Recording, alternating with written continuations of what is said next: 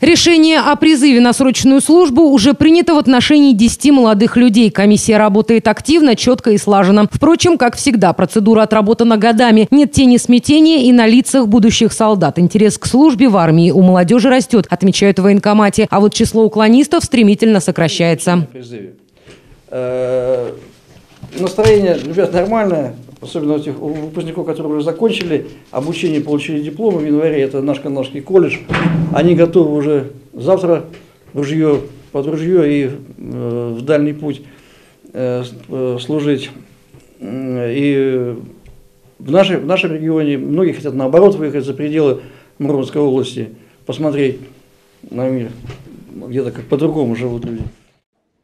Хоть и велико желание посмотреть мир, но служить придется на родной земле. По крайней мере, 50% новобранцев дальше Мурманской области не уедут. Остальным будет предложено пройти службу в военных частях и подразделениях Московской, Ленинградской и Архангельской областей. Небольшой процент призывников будет направлен на Балтийский флот, а также в элитные подразделения, которые хоть и формируются сейчас за счет контрактников, но периодически пополняют свои ряды срочниками.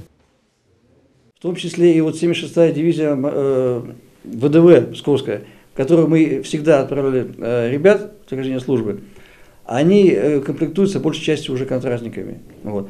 Бывают периоды определенные, когда они берут призывников. И, возможно, и в этом году будет тоже. Э, также еще у нас есть части спецназа этнической разведки, называемые, относящиеся к главному управлению генерального штаба, разведывательному управлению.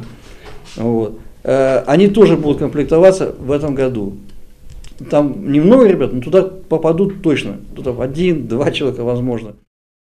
К слову, популярность контрактной службы среди призывников Кандалакши растет. Возможность выбирать, как отдавать долг родине, появилась сравнительно недавно. Хочешь год служи срочную, хочешь два года по контракту. Причем, если раньше такой вариант был доступен ребятам с высшим образованием, то теперь стать контрактником могут также выпускники колледжей. Не только могут, но и хотят. На данный момент заявление о призыве на службу по контракту написали уже 11 кандалакшан.